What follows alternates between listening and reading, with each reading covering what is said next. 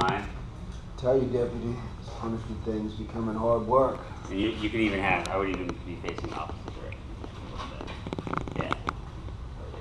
We have a deputy tying his shoes, just have. Well, he's, he's looking at his knuckles at first, Okay. and he's like kind of just off. If you- if you want, you can come down. But uh, that'll separate the levels. It might make him quick at to draw his pistol, like less time too. Right. Okay. Doesn't have enough time. Say you can come down with your knuckles and